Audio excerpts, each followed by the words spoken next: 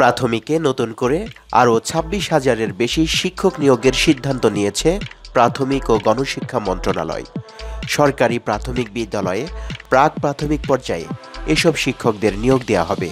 চলতি বছর নভেম্বরে নিয়োগ বিজ্ঞপ্তি প্রকাশ হবে। এ নিয়োগ থেকে নারীদের শিক্ষাগত যোগ্যতা, স্নাতক বা ডিগ্রি পাস কার্যকর করা হবে। জানা গেছে, সারা দেশে সরকারি প্রাথমিক বিদ্যালয়ে প্রাক প্রাথমিক শিক্ষক নিয়োগের সিদ্ধান্ত নিয়েছে প্রাথমিক ও গণশিক্ষা মন্ত্রণালয়। এ ধাপে ছাব্বিশ হাজার তিনশো ছেষট্টি শিক্ষক নিয়োগ দেওয়া হবে।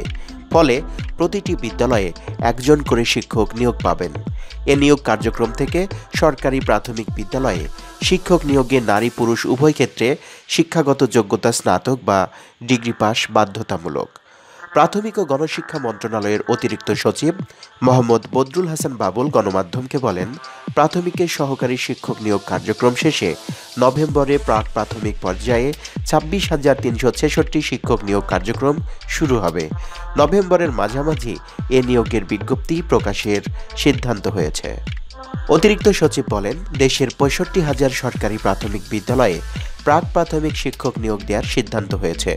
সেই আলোকে প্রথম ধাপে এই স্তরে ছাব্বিশ হাজারের বেশি নিয়োগ দেওয়া হবে। প্রাথমিক ও গণশিক্ষা মন্ত্রণালয় থেকে পদ সৃজনের প্রস্তাব জনপ্রশাসন মন্ত্রণালয় থেকে সচিব কমিটিতে পাঠানো হয়েছে। সেখান থেকে অনুমোদন হওয়ার পর তা মন্ত্রিপরিষদ সভায় পাঠানো হবে।